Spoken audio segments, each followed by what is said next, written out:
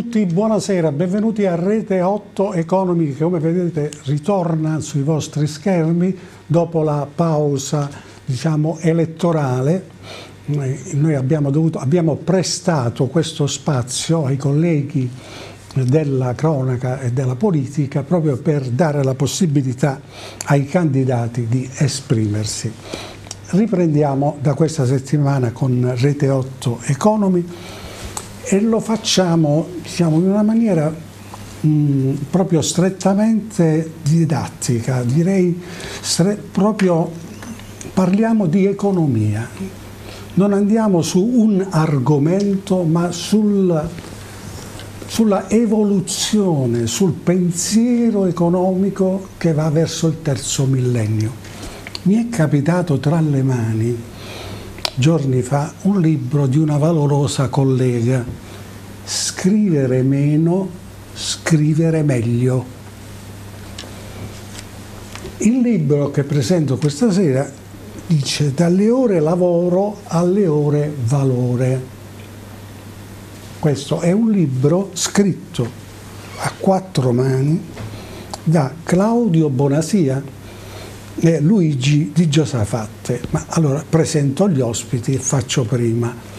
Alla mia destra abbiamo eh, Luciana Laverghetta. Buonasera. Buonasera. Quindi abbiamo Luigi di Giosafatte che ho appena Buonasera citato, Claudio Bonasia che ho appena citato Buonasera. e Alessandro Addari di, eh, Alessandro Addari, come sapete, è vicepresidente di Confindustria, mentre Bonasia è un manager e eh, Luigi Di Giosafatti è direttore generale di Confindustria per quanto concerne Chieti e Pescara.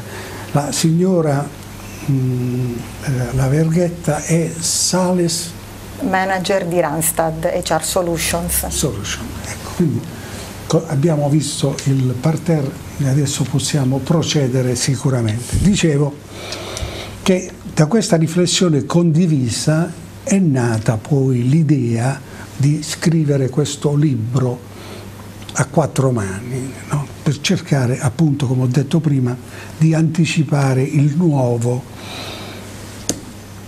Io comincerei dagli autori del libro per poi dopo fare singole domande perché dalle ore di lavoro alle ore valore? Cominciamo con Bonasia. Sì, io penso che eh, questo libro ha lo scopo proprio di diffondere idee sul mondo che sta cambiando e che è già cambiato in maniera significativa. Sono già passati i primi vent'anni di questo terzo millennio e poi di poterle condividere con la speranza di eh, avviare riflessioni in un tempo che forse non è così abituato alla riflessione, però sarebbe importante che queste idee potessero alimentare scambi, confronti per immaginare il futuro e per poterlo anticipare, perché eh, sono accaduti fenomeni in questi 20 anni, uno su tutti la globalizzazione, che non è stato compreso fino in fondo, cosa avrebbe determinato come cambiamenti proprio nel mondo del lavoro. E poi quella che hanno chiamato crisi, che in realtà era un cambiamento strutturale di sistema, che eh, dal 2008 sono 11 anni, non ho a mia memoria una crisi durata 11 anni.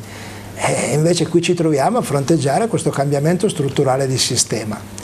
Allora, Evidentemente dalle ore lavoro, cioè eravamo abituati nel secolo scorso a misurare con il tempo la prestazione di lavoro e quindi a remunerare il tempo che le persone trascorrevano nei, nei luoghi di lavoro, con il cartellino orologio che determinava l'inizio e la fine della prestazione, oggi vediamo che questo ha sempre meno senso perché evidentemente eh, si, si, dovrebbe remunerare il valore creato con il lavoro, magari pagandolo anche di più e questo è importante. Ma tanto ci torniamo su questo certo. problema anche perché è focale, è importantissimo.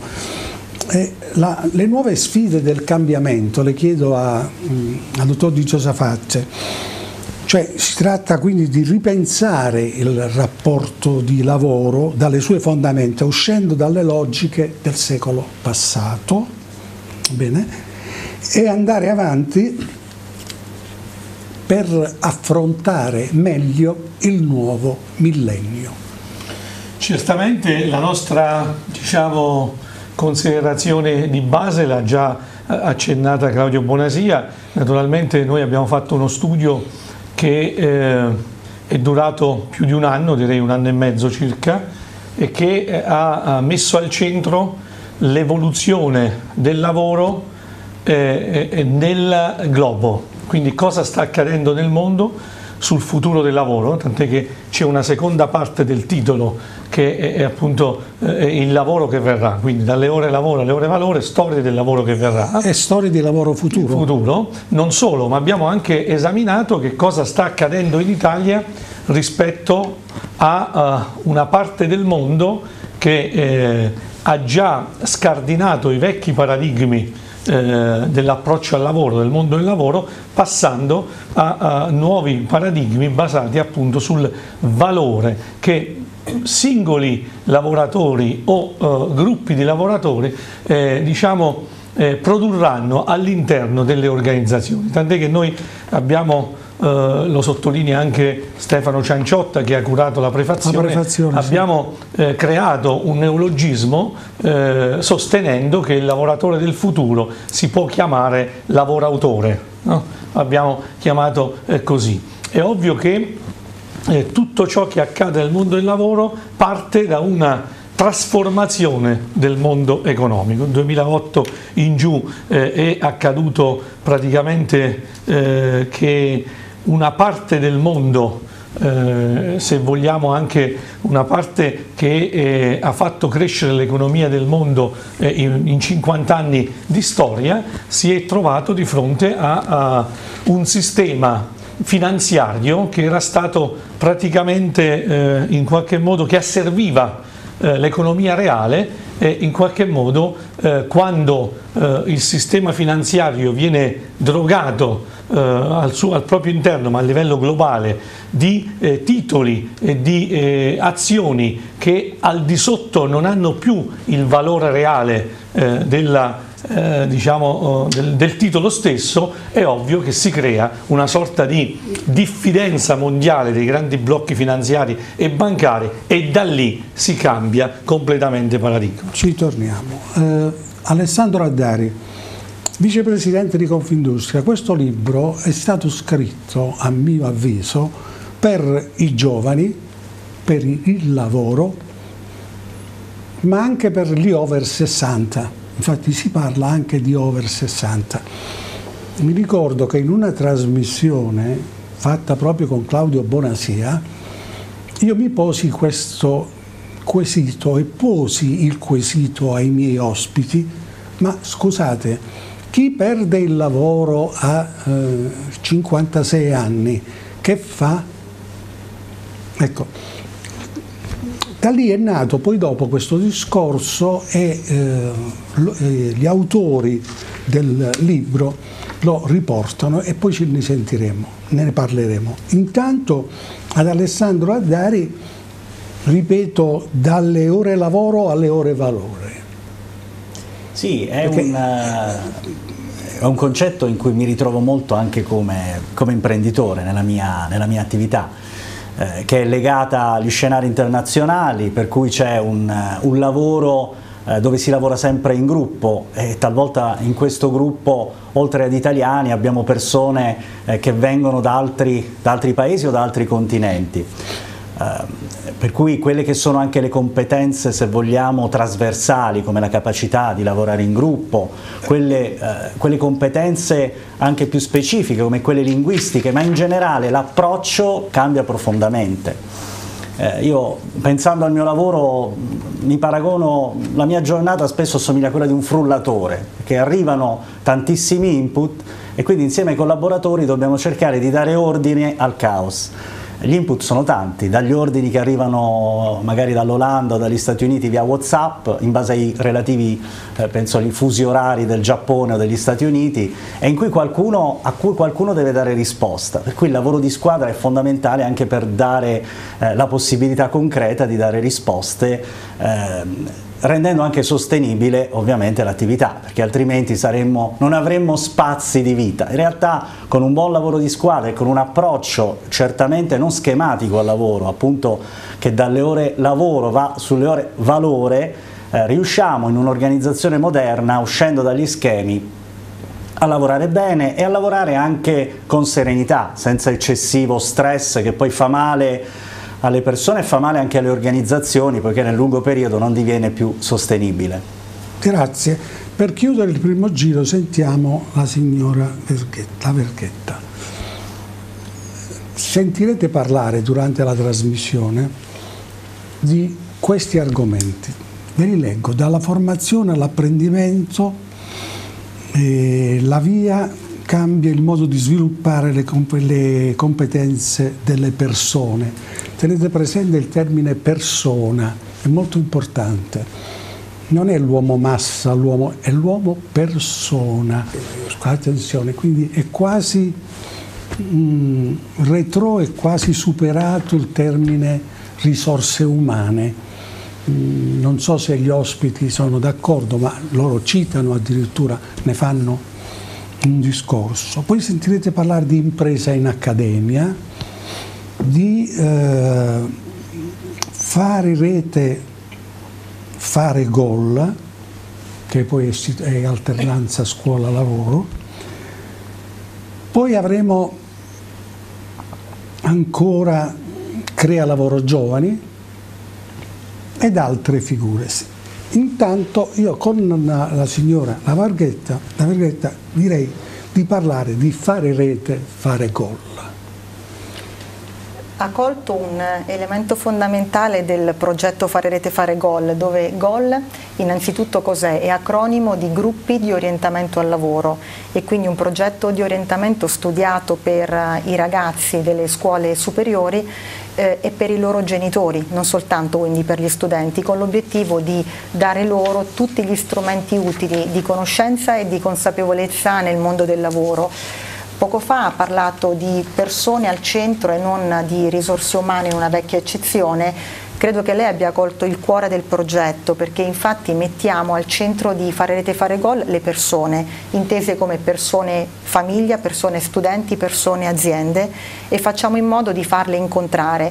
Eh, I relatori che mi hanno preceduto hanno parlato di grandi cambiamenti di mondo digitale, eh, di like e di tweet, eh, in realtà il vero differenziale l'abbiamo fatto con il cosiddetto tocco umano, quindi facendo in modo che eh, l'esperienza scolastica fosse arricchita da un qualcosa di più, che non fosse l'apprendimento classico, ma legato al contatto tra le persone, al contatto con le aziende. Quindi obiettivo è stato trovare un luogo comune in cui far incontrare i giovani, le imprese e anche le famiglie che hanno un ruolo fondamentale nelle scelte di orientamento dei propri giovani all'interno delle famiglie stesse appunto. Grazie, eh, dovremmo avere una pausa pubblicitaria, ci vediamo tra poco. Bene, torniamo dagli studi di Rete 8, Rete 8 Economy, stiamo parlando di un libro, anzi stiamo parlando di un libro, ti dico io, potrebbe diventare un testo universitario. Questo sarebbe un libro che si dovrebbe far usare nelle facoltà di economia, perché qui si parla di economia, ma si parla di economia pura, non solo, ma siccome si parla di storie future di lavoro, è importantissimo leggere quello che c'è scritto perché ci sono veramente delle novità, delle idee pensate, studiate da esperti. Per esempio, ripensare la struttura della retribuzione.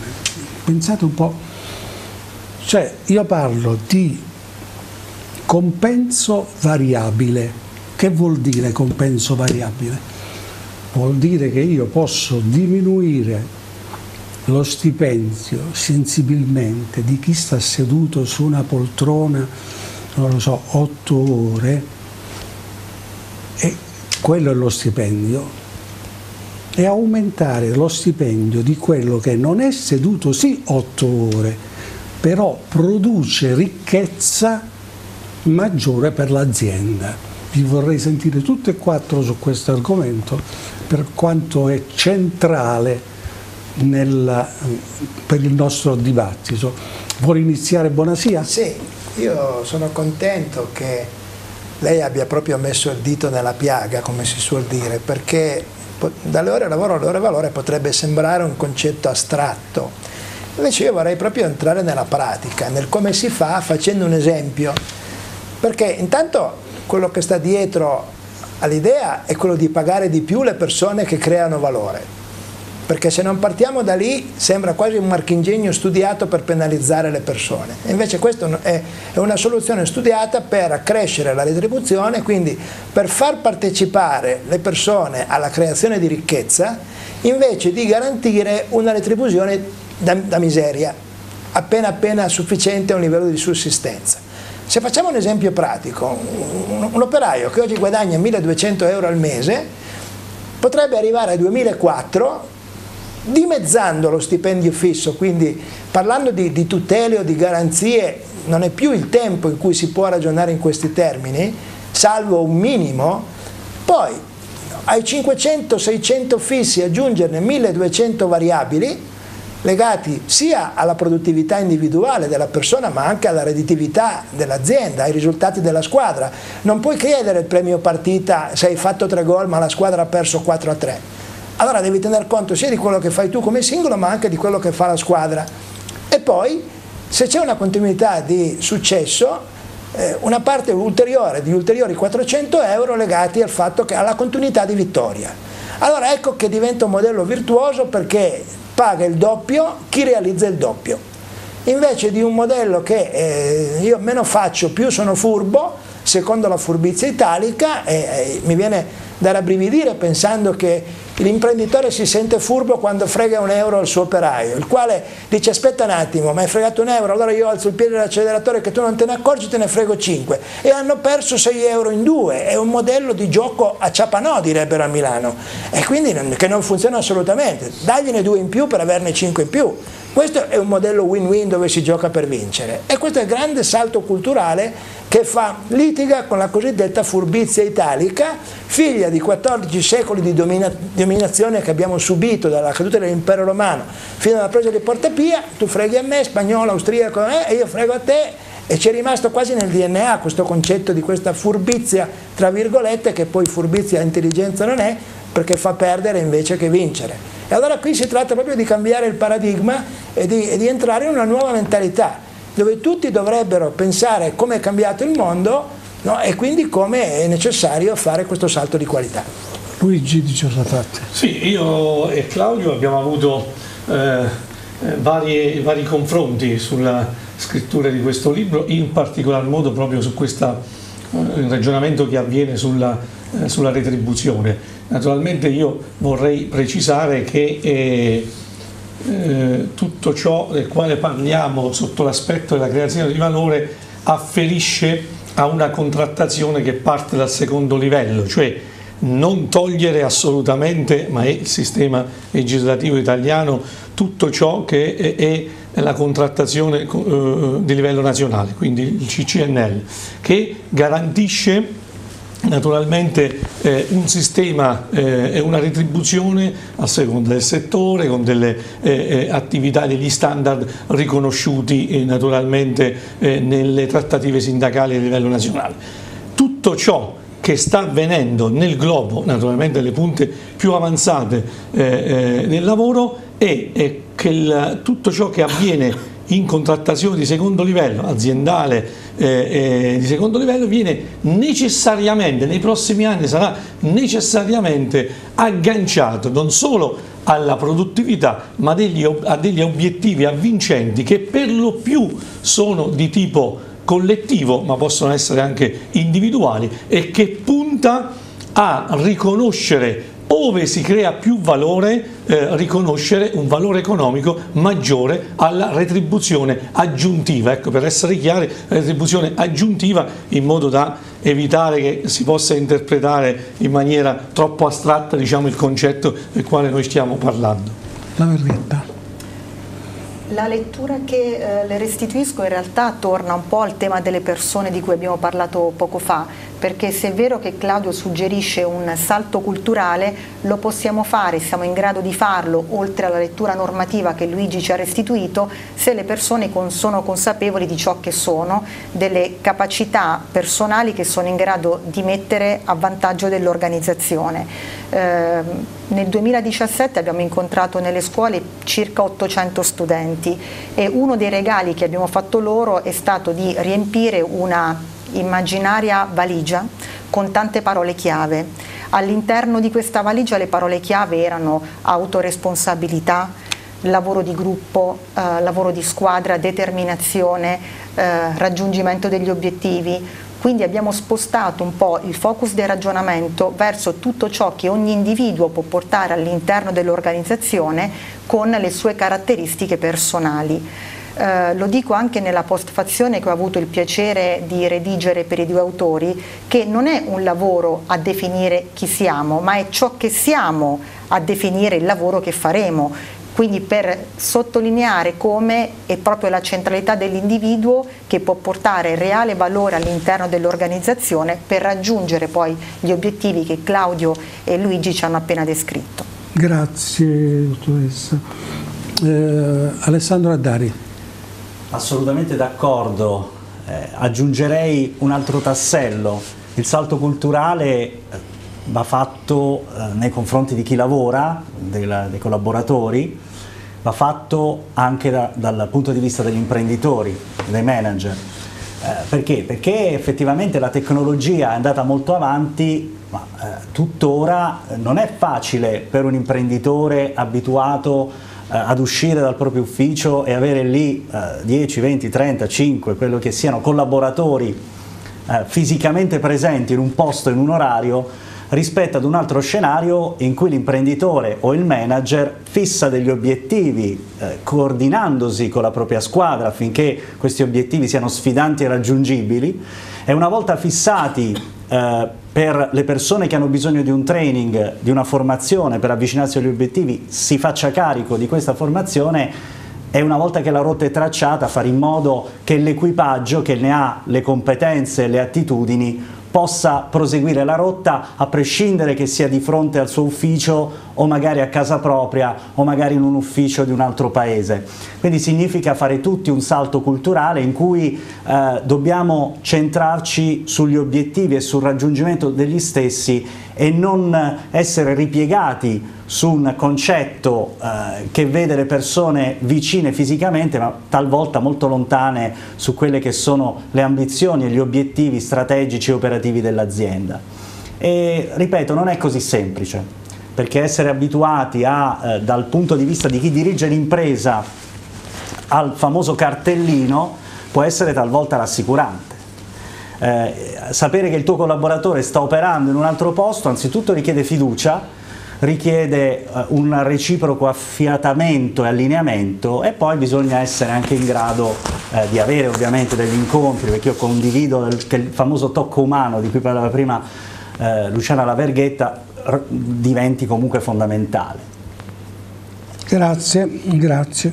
Quindi, eh, dottor Bonasia, creare nuovi modelli di business e supportare nuove opportunità di occupazione? Allora, qui proprio eh, la chiave è questa che io mi metto nei panni di una persona che lavora e che dice ma allora le mie sicurezze, le mie certezze, il mio futuro, le mie garanzie che fine fanno? Io dico che entriamo in una logica in cui se tu sei un centravanti che fa 30 gol a campionato, in quel modo stai difendendo il tuo posto di lavoro alla grande. Puoi anche permetterti il lusso di essere antipatico. Mi piace qui citare il caso di Ibrahimovic che ha cambiato 8-10 squadre, ha vinto scudetti dovunque è andato, magari non era il miglior commensale da portare a cena, però non era sorridente, non era gioviale o cordiale, però andava in campo e segnava i suoi 30 gol, in quel modo riusciva a difendere il suo posto di lavoro nel futuro. Allora cosa vuol dire questo? Che il modello eh, di strategia di business eh, a, a parole concettualmente semplice, fare di più, sviluppare i ricavi, con meno, contenendo nello stesso tempo contemporaneamente i costi, meglio, innovando prodotti e servizi. Bene, a dirlo non ci vuole nulla, farlo è estremamente difficile e complicato. Perché? Perché ci vogliono persone, collaboratori, persone con la P maiuscola, coinvolte, motivate, proattive, capaci di sviluppare conoscenza, consapevoli della sfida in cui si stanno muovendo, in tutte le parti, come diceva Alessandro molto bene prima, del mondo. Pensiamo agli smart worker, queste figure dove il posto di lavoro non c'è più, ai gig worker, dove negli Stati Uniti soprattutto il 40% di persone lavora già in questo modo, cioè ti arriva una telefonata che ti chiede di fare una performance entro tre ore nel pomeriggio e che ti paga a gettone per il, la, la, performance che gli hai dato. 40% lavora già così, succederà anche a noi, non esisterà più il cosiddetto posto di lavoro. Vogliamo subirle queste situazioni o anticipare il cambiamento apprendendo e preparandoci a gestirlo? Grazie. Eh, di Giosafatti.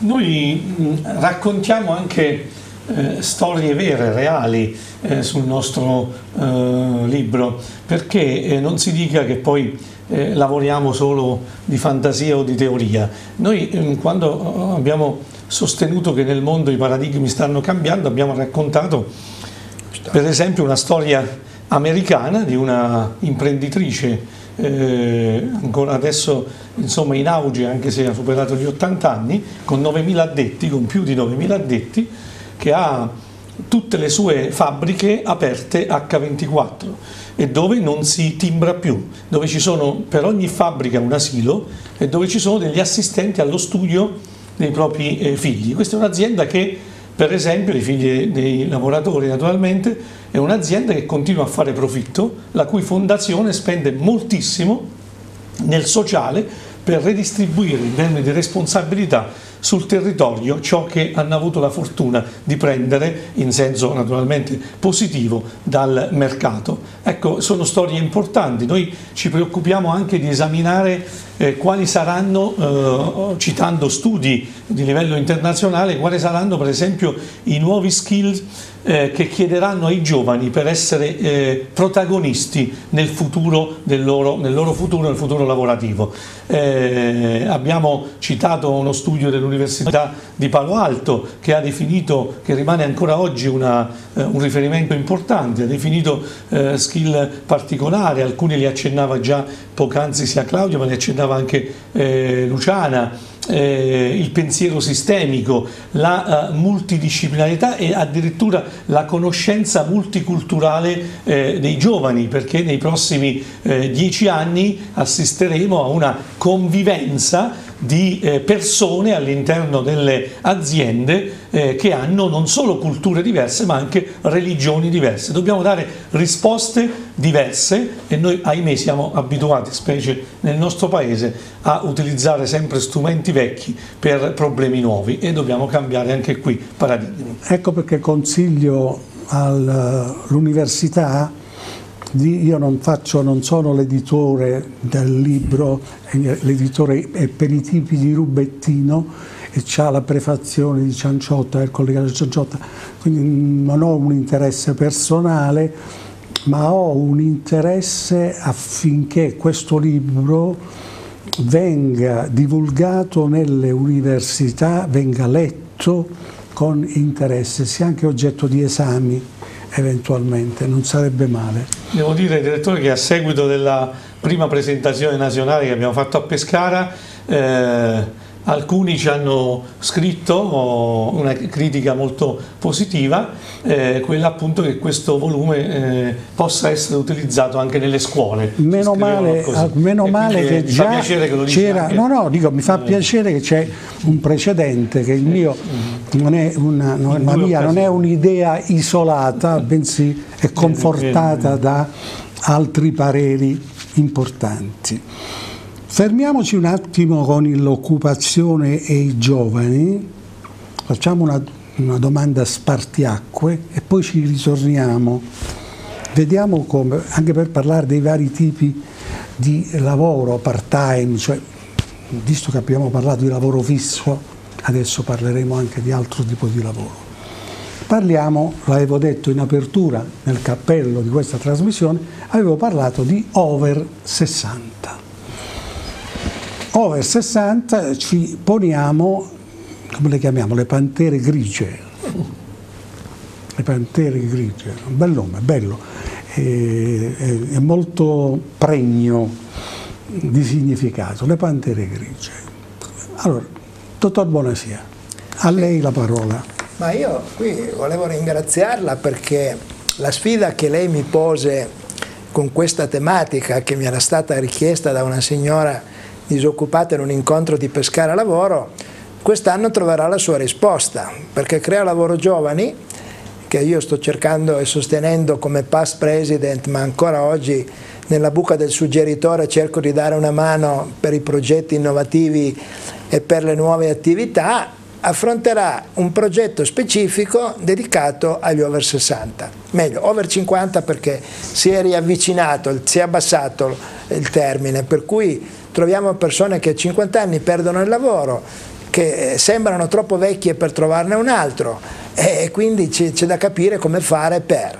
Ho coinvolto in questo team di progetto di Crea Lavoro Giovani eh, Laura Di Russo dei centri per l'impiego, il professor Toletti del, della Terno Mantonè, persone che hanno voglia con me, eh, con dei giovani soci junior di Crea Lavoro Giovani, giovani laureati che faranno parte di questo team di progetto in cui andremo ad affrontare una situazione per niente facile perché eh, immaginare di far incontrare domande e offerte, anche qui sembra un gioco teorico, in realtà non è così perché se uno ha fatto per tutta la vita eh, il saldatore e poniamo il caso che non cerchino più saldatori anche se la realtà invece ci dice che sono ancora profili ricercati, trovare una eh, diversa collocazione vuol dire prob probabilmente ritornare sulle persone, sulle loro competenze che magari non hanno utilizzato lavorativamente, sulle loro passioni, capire che cosa sanno fare in alternativa in più rispetto a quello che è il loro lavoro e vedere come finalizzare questo tipo di energie nella creazione di nuova occupazione, perché a volte non, non, si tratta più neanche di trovare nuovi lavori, ma proprio di crearli. Faccio un esempio molto eh, semplice. Mi risulta che eh, le torte che alcuni ristoranti vendono, che una volta si ordinavano alle pasticcerie, adesso si ordinano delle casalinghe, le quali hanno attrezzato la cucina a norme HACCP, per cui se arriva la ASL gli fa un controllo di avere una cucina che garantisca le norme igienico-sanitarie e producono queste torte con cake design, quindi con delle forme molto particolari, anche estetiche oltre che di sapore, e i ristoranti pagano meno di quanto pagherebbero una pasticceria conclamata per fare questo tipo di servizio. Allora queste signore hanno scoperto questa possibilità da casa di fare lavori nuovi che rispondono a domande che il mercato pone. Ecco, eh, sarà una sfida molto impegnativa, molto complessa, ma speriamo, crediamo, ce la metteremo tutta per aiutare chi si trova in difficoltà superati gli over 60. Concludo con una cosa che nel libro abbiamo ripreso. Normalmente gli over 60 sono due cose che, che potrebbero fare. Una è condividere il know-how e le esperienze maturate, informatizzandole, così che l'azienda non, non le perda.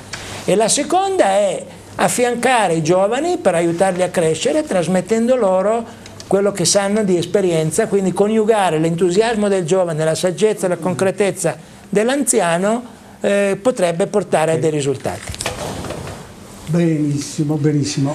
Abbiamo, dovremmo avere la pausa pubblicitaria, ma abbiamo un po' di tempo per far dire ad Alessandro a dare il suo pensiero sull'over 60.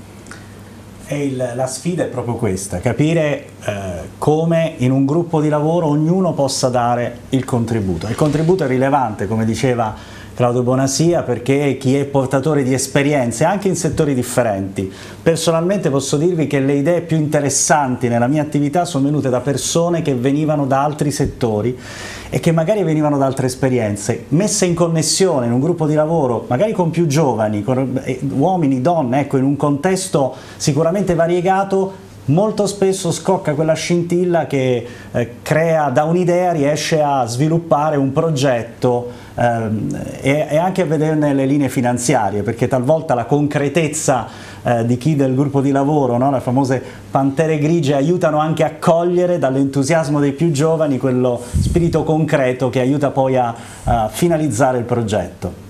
Grazie, io direi di chiamare la pubblicità Così poi riprendiamo con la signora Verghetta dai, partendo dai contratti a tempo indeterminato e arrivare ai nuovi tipi di contratto. Bene, ritorniamo qui dagli studi di Rete 8, Rete 8 Economy, stiamo parlando del, di un libro, dalle ore lavoro alle ore valore ci eravamo fermati ad un certo punto per far riprendere poi alla signora Lavarghetta per partire dai contratti a tempo indeterminato ai contratti cosiddetti flessibili. Cioè che cosa succede? Ehm, il nuovo impianto normativo che in qualche modo viene dettato dal decreto dignità eh, ci mette di fronte eh, soprattutto come agenzie per il lavoro in quanto rappresento Randstad che è agenzia primaria in tal senso operante nel settore ci mette tutti inevitabilmente di fronte ad un cambiamento di scenario e di approccio culturale in termini di formule contrattuali. Eh, mi piace però in tal senso ricordare come attività concrete che i due autori infatti nel libro hanno saputo raccontare e valorizzare, parlo del progetto eh, Imprese in Accademia, portino poi in concreto gli studenti a concretizzare in altrettante opportunità di lavoro quello che era un percorso eh, universitario, post-universitario con maggiore valore.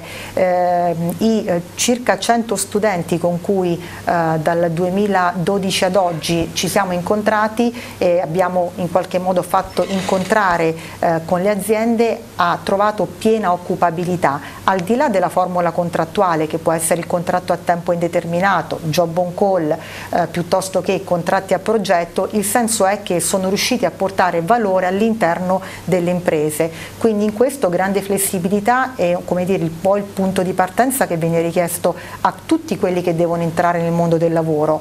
Tenga conto che oggi eh, chi entra nel mondo del lavoro deve avere chiare due cose fondamentali. Innanzitutto che sarà chiamato a cambiare almeno 15 lavori all'interno del suo percorso professionale e che circa 100.000 delle mansioni che noi tutti saremo chiamati a, a, fare oggi non esiste ancora. Quindi in questo c'è, al di là della formula contrattuale, un approccio di flessibilità davvero rotondo al mondo delle professioni. Grazie. Da manager a manager leader coach, mm, cosa cambia nella professione manageriale eh, di Giosafat e poi sentiamo Bonasia? È un mondo eh, ancora molto interessante quella del eh, cambiamento anche delle figure manageriali o meglio degli asset propri del manager rispetto a una nuova configurazione del mondo del lavoro. Noi ci stiamo occupando molto in Confindustria Chiedi Pescara eh, di formazione manageriale, di processi di formazione manageriale nuovi, nei nuovi paradigmi. Innanzitutto eh, eh, diciamo nelle nostre organizzazioni gestiremo sempre di più paradigmi complessi che eh, interverranno, avranno nuove, eh, daranno nuovi impulsi a nuove metodologie sia in ordine alle tecniche manageriali ma anche all'economia reale. E su questo noi per esempio ci siamo oh, soffermati perché eh, la leadership cambia, eh, non è più una leadership eh, di sola autorevolezza che ahimè è, è, è l'ingrediente principale, più importante, ma è una leadership che eh, cambia, che avrà a che fare con culture, religioni e eh, eh, formazioni completamente diverse su stessi gruppi eh, di persone, ma è anche eh, una leadership e quindi un, uh, un management che eh, avrà a che fare con la digitalizzazione e con internet delle cose, con l'intelligenza artificiale. Quindi noi diciamo sempre la persona al centro che deve avere un'interazione non solo più con l'organizzazione classica, ma con nuove eh, metodologie e nuove, diciamo, nuovi, nuove abilità che eh, troveremo all'interno di questi nuovi processi lavorativi.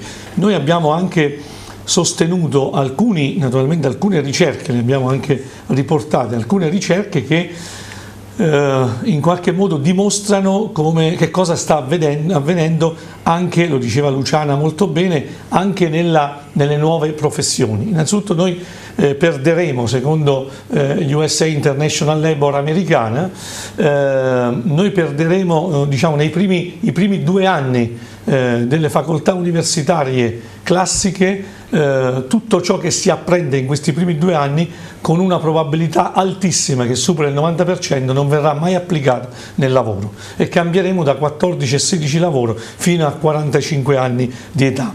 Allora noi dobbiamo essere preparati per affrontare naturalmente con una, un paese, paese Italia, che integri una vera attività legislativa di politiche attive del lavoro e questo è fondamentale per il nostro Paese. Grazie. Dottor Bonasia. Ma, eh, io credo che sarebbe interessante riflettere un attimo sulla figura del leader perché, eh, come dicevo prima, questo cambio di paradigmi è avvenuto.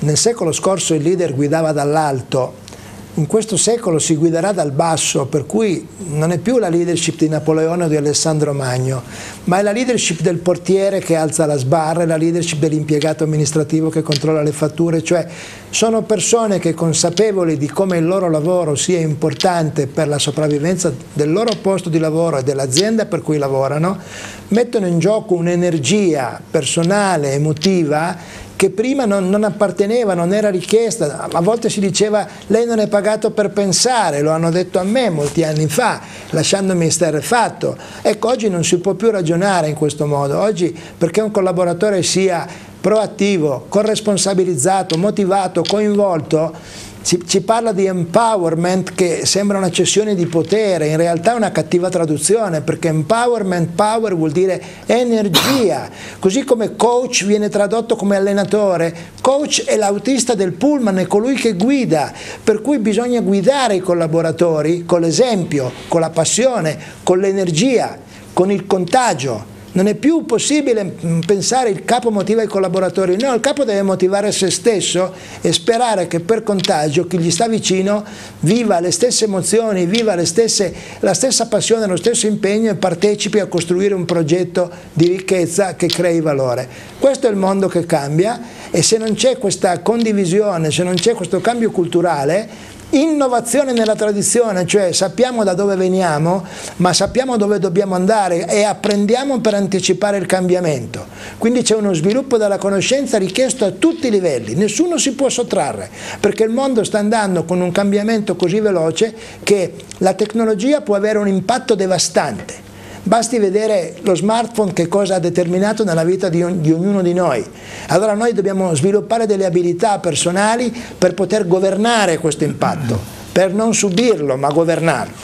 Da dipendenti a collaboratori, mm, quindi eh, la cosa eh, cambia totalmente. Sentiamo a Dari, poi chiuderemo sulla, dalla formazione all'apprendimento che mi sembra una buona chiusa del discorso.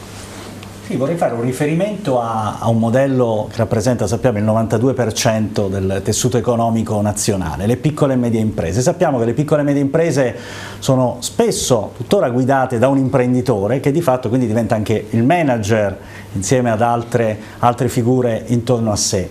Eh, io credo che oggi valga la pena riflettere su, su, un aspetto. La realtà è diventata così complessa, prima si faceva riferimento al, all'essere multidisciplinare, ma anche all'essere multicanale. Sappiamo che eh, prima la vendita nei negozi fisici era il modello eh, unico, oggi la vendita anche di piccole e medie imprese spesso avviene eh, su tutti i canali a disposizione, quindi dall'online all'offline. Ecco, questa complessità, io partirei da questo, fa sì che anche una piccola impresa oggi viva in un ambiente così complesso che non possa essere governato solo da una persona seppur illuminata una, o da una stretta cerchia intorno all'imprenditore.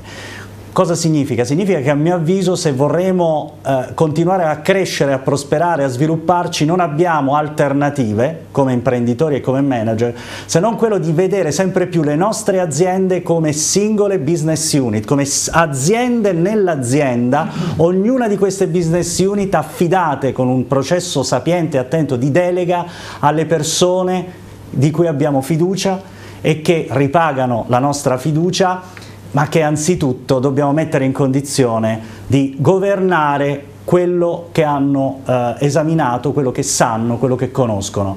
Significa quindi davvero cambiare pelle eh, e per capire in che fase siamo come imprenditori io propongo di farci una domanda. Ad esempio io la domanda che mi farei è nel corso degli ultimi tre anni quante idee nuove sono arrivate dai miei collaboratori? Quante di queste sono state sviluppate, ma anche quanti spunti di miglioramento sono arrivati. Certo. Se la risposta è zero, dovremmo farci prima una autoanalisi come imprenditori e manager, perché sicuramente il passaggio successivo è come mettere in condizione le persone intorno a noi a entusiasmarsi o anche automotivarsi per davvero essere motori della crescita della nostra azienda. Eh, signora Laverghetta, dalla formazione all'apprendimento, ecco, come cambia il modo di sviluppare la, le competenze e di nuovo uso quella parola magica delle persone? La metodologia che abbiamo utilizzato nell'incontrare i ragazzi sia di fare rete fare gol sia di imprese in accademia è stata una metodologia sicuramente molto più esperienziale. Quindi i ragazzi che erano abituati ad una classica aula frontale con un docente e loro come discenti hanno un po' cambiato il modo di eh, trovarsi all'interno dell'aula.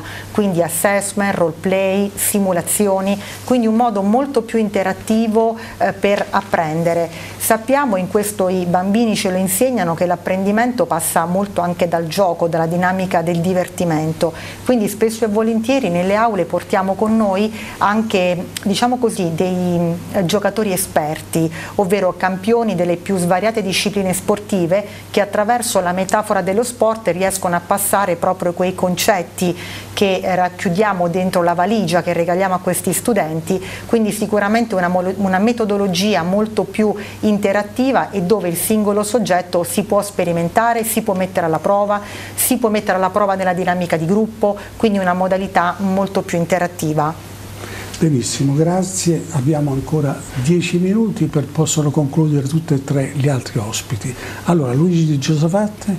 Bene, noi eh, dalla formazione all'apprendimento. Possiamo, su questo diciamo, eh, si è eh, parlato molto, noi in qualche modo dobbiamo ca cambiare anche il eh, paradigma classico della formazione e eh, l'apprendimento è uno strumento che in qualche modo eh, condiziona con un'attività dinamica, continuativa, eh, tutto ciò che eh, nuova, un nuovo sistema formativo che può dare risposte concrete a un mercato del lavoro che cambia, è un mercato del lavoro che... C'è il eh, futuro diciamo, del lavoro che si trasforma. Assolutamente sì, non solo, bisogna dare l'apprendimento e eh, in qualche modo il seme che dovrò coltivare per tutta la vita lavorativa e anche dopo affinché tutto ciò che nasce come nuove prospettive eh, di lavoro, per esempio Claudio citava eh, eh, le nuove forme lavorative, no? eh, più che forme contrattuali, nuovi lavori, ecco, eh, tutto ciò eh, deve essere con l'apprendimento e quindi sistemico, deve essere in qualche modo la, diciamo, la leva che ci farà continuamente essere eh, in linea con le nuove figure richieste dal mercato. Ahimè, noi in Italia abbiamo un gap eh, molto forte in questo, eh, in realtà c'è un dibattito che dura da anni sul nostro paese su quanti posti di lavoro verranno persi con la, la digitalizzazione con Industria 4.0. Ecco, noi abbiamo scritto che siamo molto più appassionati eh, di capire invece quanti nuovi lavori arriveranno con Industria 4.0 e con la, uh, diciamo, oh, la digitalizzazione eh, che probabilmente daranno la possibilità di avere un'occupazione eh, più interessante eh, per eh, i giovani e devo dire dove anche si lavorerà probabilmente meno per avere almeno la stessa retribuzione e forse anche di più perché la condizione eh, umana è sempre quella di migliorare le performance lavorative. Grazie. Dottor Bonasia. Ma eh, io farei, farei, questa riflessione conclusiva, cioè su questo tema, dalla, dalla formazione all'apprendimento, eh, questo è un cambio epocale. Purtroppo noi siamo abituati ad affrontare problemi nuovi per citare Luigi di Giosafate che parafrasava Einstein prima, che l'ha detto nel 1930, affrontare problemi nuovi con strumenti vecchi è impossibile. Ora, lei ricorderà con me che la scuola italiana ancora viaggia con la riforma gentile, 1920, e praticamente lo Statuto dei lavoratori, 1970, sono passati 49 anni, cose sono cambiate delle ere geologiche a livello tecnologico all'interno del mondo del lavoro e anche della scuola. Il passaggio più critico è la condivisione della responsabilità. Nella didattica era tutto sulle spalle del docente. E poi chi lo sa, se forse gli alunni apprendevano, tanto meglio, se no venivano bocciati, rimandati e questa era la logica. Oggi viceversa, anche qui non è più dall'alto, sale dal basso, cioè io devo preoccuparmi del livello di apprendimento della classe e allora faccio un test di apprendimento alla classe e poi do il voto al docente. Se il 70% supera questo test di apprendimento lo confermo, se non lo supera mi devo chiedere se ha senso continuare a tenerlo in quel posto di lavoro. Anche qui l'aleatorietà, il rischio diventano dei fattori di cambiamento culturale enorme rispetto ad un passato dove c'era il posto garantito, o fai o non fai, stai là, chi se ne frega e questo è quanto. Allora, se non arriviamo a capire che la tecnologia accadrà, andrà avanti, nonostante noi possiamo accettarla, subirla, però questo accadrà e se noi non ci mettiamo nella condizione di anticipare questi cambiamenti, io cito sempre e voglio farlo anche qui quel fantastico proverbio abruzzese che dice fatte camminare la coccia, che tradotto è pensiero prospettico strategico, cioè guardo avanti non di tre minuti ma di tre, sei, dieci anni e poi cerco di capire quali elementi determinano gli scenari con cui mi vado a confrontare. Bene, se noi facciamo questo, qualunque sia il tema che affrontiamo, dobbiamo renderci conto e cambiare velocemente il nostro modo di pensare e di agire. Grazie. Eh, Alessandro Addari. Mi viene proprio da pensare a questi anni in Confindustria che è diventata un minuto sì, perché devo fare una domanda? Sì, che è diventata una fucina di idee e in cui eh, mondi apparentemente diversi come quelli della scuola, dell'università, della ricerca, della formazione si sono uniti in progetti.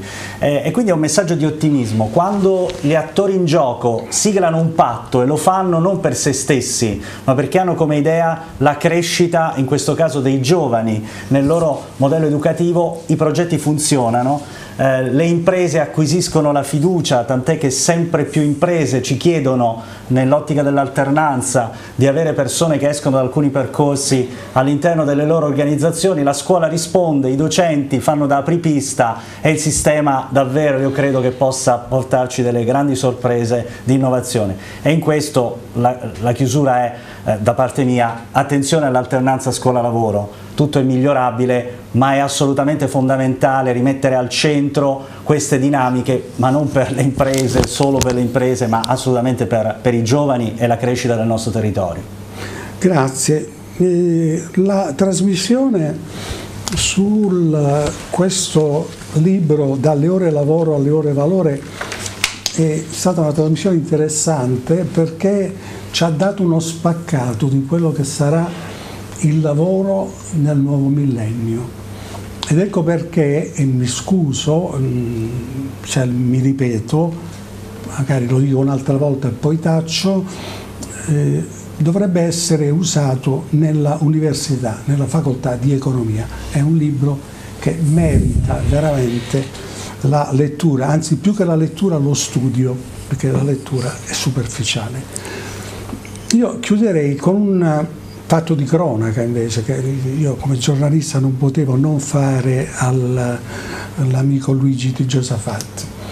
Eh, ieri su tutti i giornali, eh, titolo d'apertura, Angelucci si dimette da presidente della Camera di Commercio, era stato eletto meno di un anno fa, mm, dopo la scomparsa di Daniele Becci, un, come un fulmine a ciel sereno ci siamo visti un comunicato stampa della Confindustria nel quale ci dice che il presidente Angelucci si è dimesso. Dottor Di Giosefatti.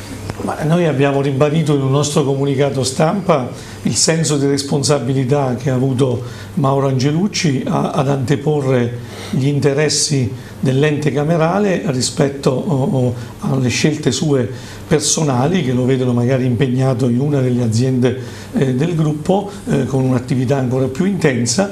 È una scelta importante perché ci si è preoccupati di avviare alcune attività progettuali interessanti, lascia un motore naturalmente che è ancora in corso e, e, e un grande senso di responsabilità che riconosciamo naturalmente a Mauro Angelucci e noi nei prossimi giorni eh, condivideremo con tutte le associazioni che formano il Consiglio Generale della Camera di Commercio di Chiedi Pescara, eventuali scenari futuri, non, abbiamo, non ci presenteremo eh, a nessuna associazione eh, portando diciamo, indicazioni, vogliamo ascoltare da loro quali saranno eh, diciamo, le loro istanze per capire se ci sono naturalmente spazi per essere protagonisti tutti insieme nel nuovo ente camerale. Scusi, ma eh, direttore, non ci saranno, no, non ci sono nomi, cognomi che vanno in giro? No, non si parla di qualche imprenditore che Lei mi vuole far dire cose che non, che non, esistono, nel senso che non abbiamo assolutamente